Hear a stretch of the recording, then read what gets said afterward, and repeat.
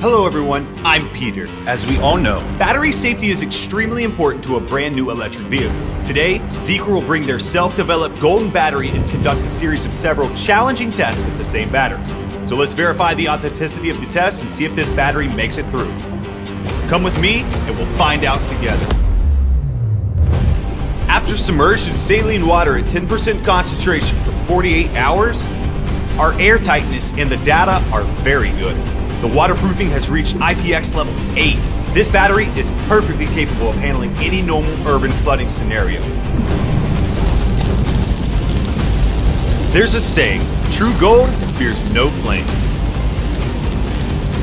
Even after burning at a thousand degrees and submerged underwater for 48 hours, this battery is still safe and reliable. So now let's see if this Zeekr battery can withstand the extreme cold test of negative 45 degrees Celsius for 8 hours. All battery indicators are still good. Incredible. After 3 kilometers of mud washes and debris impacts, this battery surface looks really scratched up. Now, after these four terrifying tests, can this battery still function properly? Let's wait and see. Everything is perfectly normal, as if nothing ever happened. Let's test this battery performance with this 22-ton roller on it.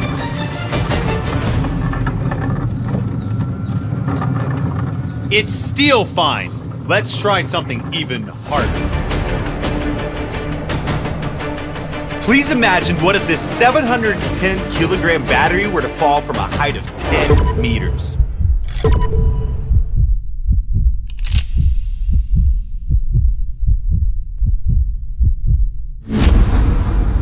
Wow, what an amazing test! And this battery is still fine.